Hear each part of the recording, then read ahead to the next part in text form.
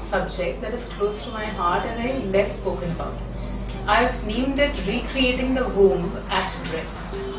Now, what does it really mean? We all talk about the importance of breastfeeding. But breastfeeding doesn't only mean feeding and nursing a baby and providing nutrition at the breast.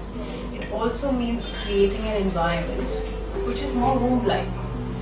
So, at childbirth, when a baby leaves a mother's womb, it's looking for a very similar environment. And the human body of the mother provides that environment where? Right at the breast. We've all heard about skin to skin contact, kangaroo mother care, things like that, which relate more to NICU babies, preterm infants. How does it really relate to babies who are born full term, either through a cesarean section or through a natural birth?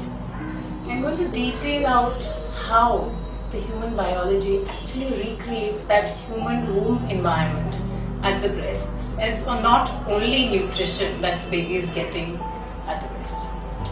Five senses vision, smell, touch, hearing, and the skin touch environment and the oral anatomy. All of these five. How does the baby sense that at the breast, even when it's not directly? First and foremost, the vision. We know through research that babies can only see up to 12 inches and they have black and white vision, which means they're colorblind at birth. So, if you were to leave a baby at breast crawl on the mother's tummy upside down, we find that babies would still crawl, newborn babies, go and find their way up to the breast. Now, how does that happen? All pregnant mothers go through the skin pigmentation of the areola, which darkens and almost becomes blackish. So we find that the babies with that 12 inch vision can spot that dark areola, go towards it. The second is the sense of smell. The smell of the amniotic fluid is recreated again right after birth at the nipple. So that smell attracts the baby. It's not only the smell of lactation, but also the amniotic fluid which resembles the womb. Then we come to sound. There is one sound the baby grew up with for nine months before it knew its own sound, before it knew its own heartbeat. The mother's heartbeat. Okay, so the mother's heartbeat for nine months was consistent inside the baby. Now, as the baby comes out, it needs to realign with that heartbeat. So every time the mother is in the breast, the baby is in the breast environment of the mother, the baby comes in sync with that heartbeat, which is unique to the baby's mother only. Then we come to the oral anatomy of the baby, which is basically very misunderstood because we've seen babies tend to grasp any finger that comes in their hand, and that's a grasping reflex, that's not touch. So, how do little babies touch? They touch with their mouth, which means anything that comes in contact with their mouths, they're actually touching and experiencing the world through it. So, breastfeeding is also an experience of touching um, biting the mother's neck or gnawing on a pillow or thumb sucking, that's all comforting and learning to touch.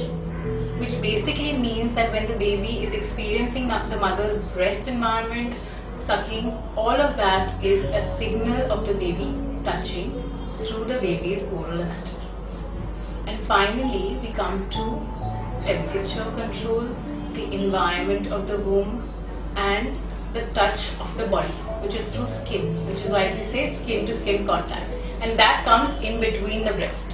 Now, as the baby crawls up and comes in between, the baby is cocooned almost in like a, a joey in a kangaroo, a newborn baby, which is called kangaroo mother care. Now, in that space, research actually reveals that 3 to 5 seconds, every 3 to 5 seconds, the environmental temperature of the mother's breast changes to adapt to the baby, keep it warm and secure as per what is indicated by the baby's body environment.